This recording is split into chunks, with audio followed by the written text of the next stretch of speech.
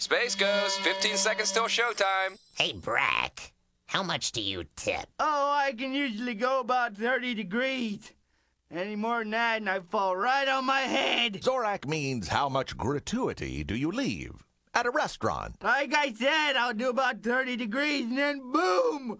Over I go. Five seconds. I like to leave 20% if the service is excellent, and 15% if it's just average.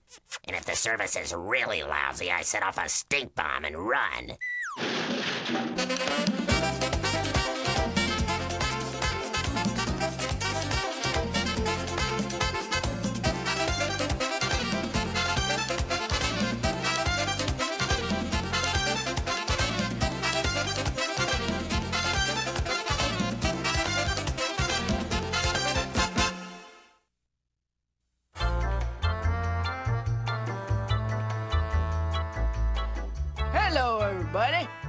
Welcome to Cooking with Brak. You know, everybody at one time or another has enjoyed that wonderful oriental delight, the poo poo platter. Well, today I'm gonna go one step better and prepare Brak's special poo poo poo platter. You notice there's an extra poo there. It's the extra poo that makes all the difference. I could have taken the easy road and did a poo platter, but who wants a platter with just one poo? I found that even the conventional two poo platter leaves one a little bit, how should I say it, unfulfilled. I trust you'll find that's not the case when you experience the thrill of an extra poo. Brak. Uh, what? There's no time left for your poo poo platter. You mean my poo poo poo platter? Whatever. Put your poo in the refrigerator and we'll try to work it into another show. Somebody's gonna steal my poo, I just know it. What if I make a sign that says, This is Brak poo, don't touch it? That should do it. Zorak, do you know what I was just thinking? Uh, what'd you say? I said, do you know what I was just thinking about? No, I don't. You know why? Because it's metaphysically impossible for me to know what you were thinking about. You might as well ask me what the monkeys in the zoo were thinking about. As a matter of fact, I was at the zoo the other day and I established telepathic communication with one of the monkeys. He was pondering the process of evolution, you know, the unfairness of it all. Either that or he was wishing he had a ham sandwich. When I was little, I used to go to the zoo and see this gorilla named Butch.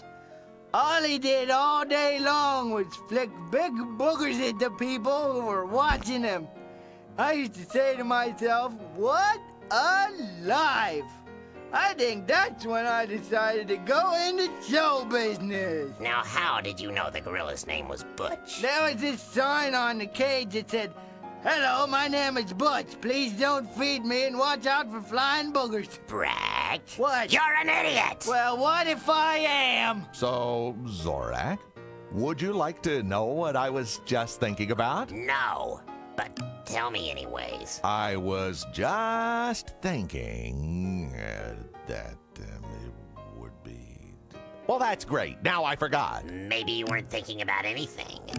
That wouldn't be so unusual. Nope, I distinctly remember that there was a thought buzzing around in my big old head. I thought I smelled something burning. What? I said, if you had a thought inside your head, it must have been pretty lonely. What do you mean? Never mind. Sheesh. How'd I get on this show? You know, the last I heard, my gorilla friend Butch was playing in a band in Seattle. With the lights out, here's a booger. Here we are now. Have a booger. Here I am, star of my own TV show. Oh, the river of life. How it rolls and flows. Where it stops, nobody knows. Kinda makes you think, don't it? Brother, what I wouldn't do for a ham sandwich right about now. Now, here's a tasty little nugget of joy from Zorak. I love the word snack. I love everything about it. I love the way it sounds, the way it smells, the way it tastes when you say it. Snack. Snack. I won't say it again. I don't want to wear it out. Snack. There, I've said it again. Ah! Crispy cylinders of cheese, lighter than air. Potatoes, thinly sliced, fried, then dusted with artificial seasoning. Rows of slippery donuts and salted peanuts and caramel corn. Oh, how I love thee. Caramel corn.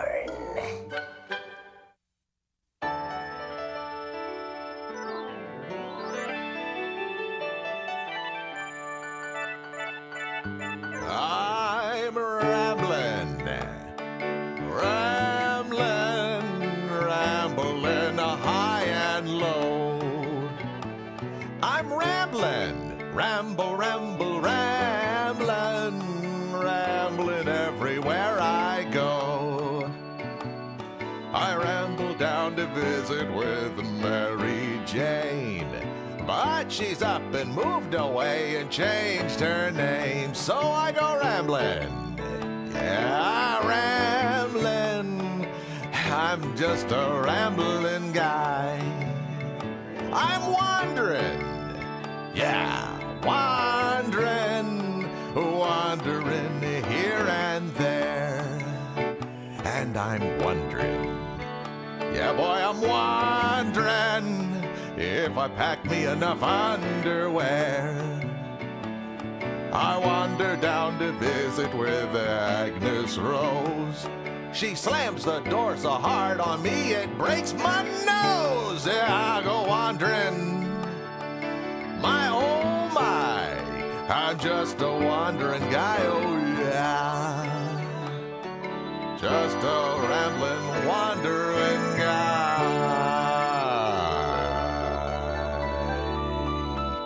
Tip your wait staff.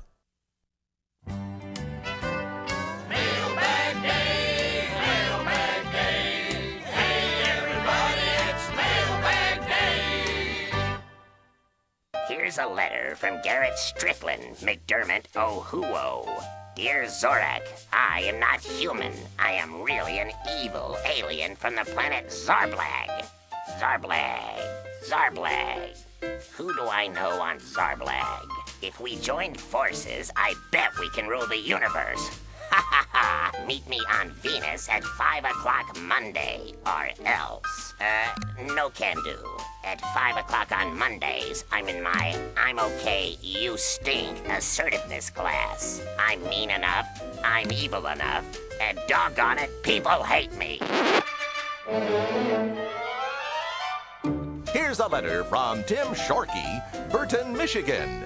Dear Space Ghost, I'd love to sit and chew the fat with you, but then you would probably think that I am a crazed psychotic fan out to kill you.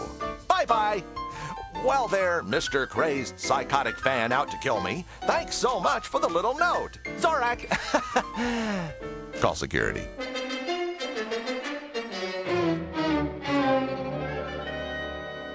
Hello, Space Ghost. My name is Anthony Sylvie, and I live in Victorville, California.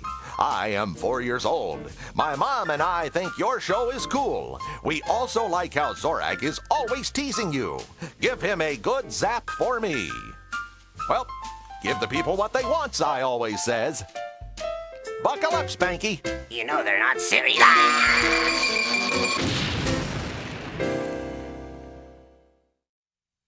Everyone knows the story of Genghis Khan, the great and terrible conqueror of China and Russia. Now let's hear the rest of the story. Few people know that Genghis Khan had a twin brother, Morty. Morty Khan, in his day, was a very successful stand up comedian. But one night, while performing in a popular Mongolian comedy club, Genghis Khan and a few of his most fierce warriors dropped in to catch Morty's show. When Morty opened his act with the joke, Take my wife, please, one of Genghis's henchmen picked up Morty's wife and ran from the club, never to be seen again. Morty's heart was broken. He retired from show business and spent his remaining years playing with his dollies in a sandbox. And now you know the rest of the story. good day.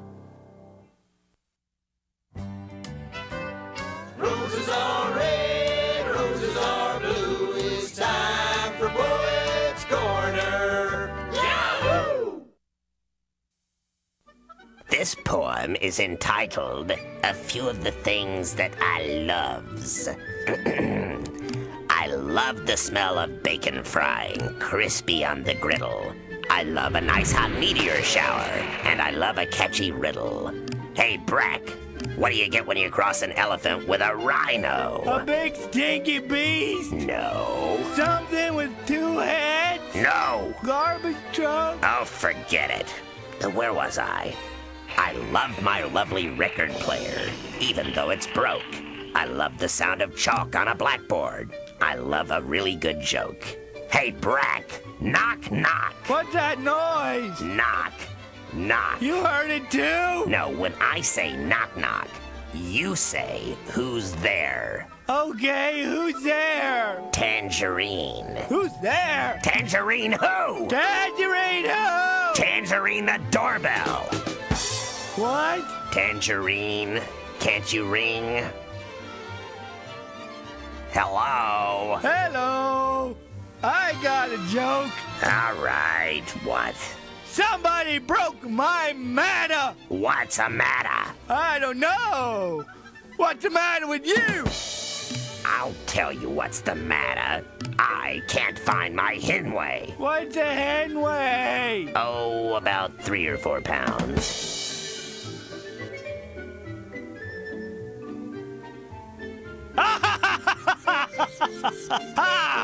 Whoa, boy. I don't get that one either.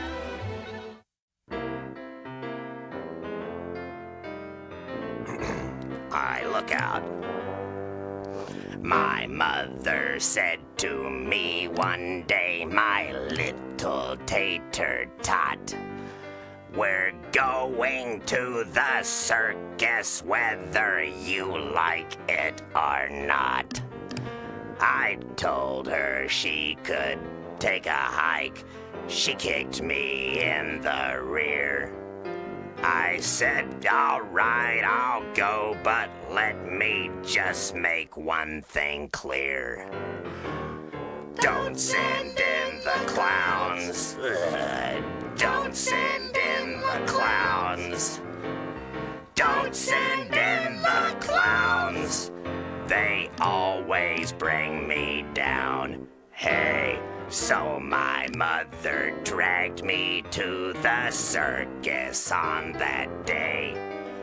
She bought me cotton candy, which I quickly threw away. There were jugglers, acrobats, a monkey in a dress. The elephant made quite a stink. It was okay, I guess.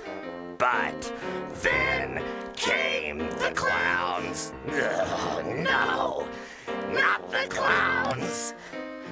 Don't send in those clowns. Anything but them. Don't send in the clowns. Oh, why did it have to be clowns?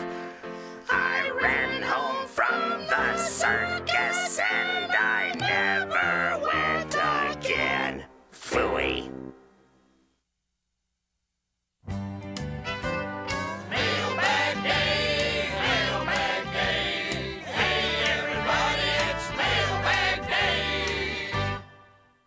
Space Ghost, we love you, man. We really dig your show. No, no, you don't understand. We love you. Signed, Rec, Lester Beth, Squally, and Fufu. P.S. We are all over 21. Rec plays bass for a punk band. Lester Beth, who is a girl, sings. Squally is a housewife, and Fufu works on cars. Hey, Fufu, if you're out there, get over here and fix my stinking Phantom Cruiser. Here's a line from Joy Hawley in Newport News, Virginia. Dear, dear Brak, I'm not a kid. I'm a grandmother who watches your show every day. I think you're great. You make me laugh. oh, Granny, I think Zorak and Space Ghost should show you more respect. Hey, you boys better start showing me some respect, or this Granny here's gonna show you what for. What do you mean? I mean, she'll knock your stupid head off. Did you hear that, Zorak? Hmm? Oh, yeah. Don't let the granny get me, Space Ghost. You guys don't think I'm gonna have power steering trouble now, do you? Do you guys think I'm gonna have power steering trouble? This is really.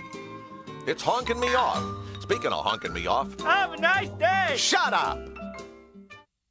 And so the happy little monkey found his bag of pixie dust and flew off into the land of Nod, and he lived happily ever after.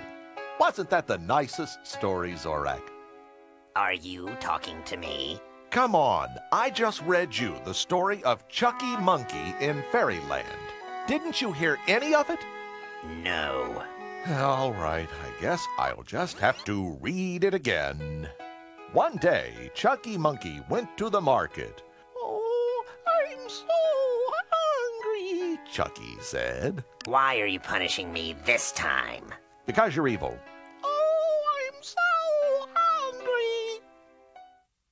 The word for today is a Spanish word, gracias. It means friend. Thank you. You're welcome.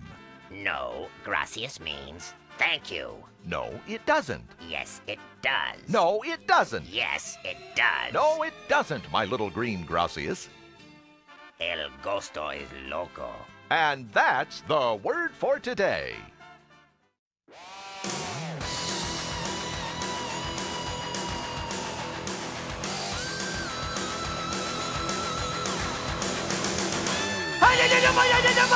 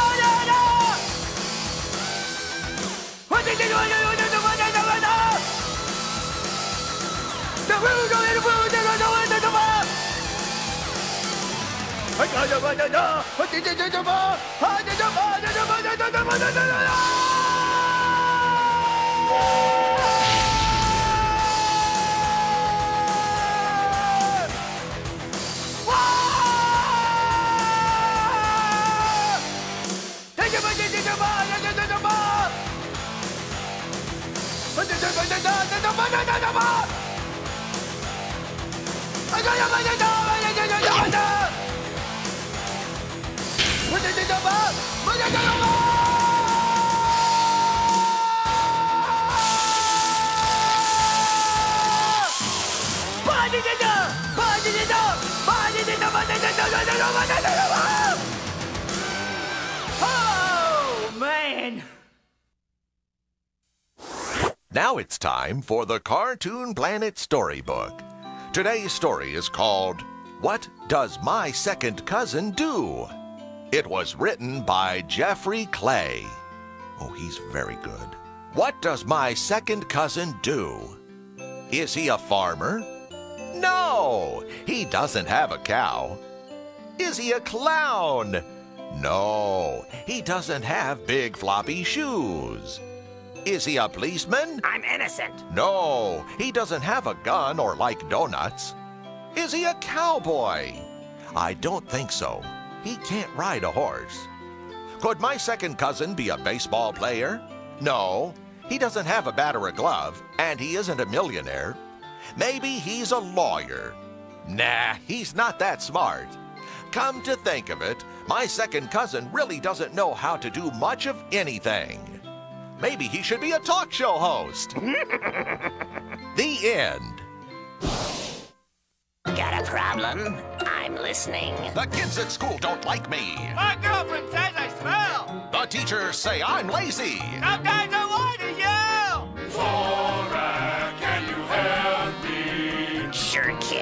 Just tell old Zorak. Now, what's your problem? This mask is really itchy. My underwear's too tight. No one understands me. Yeah, right.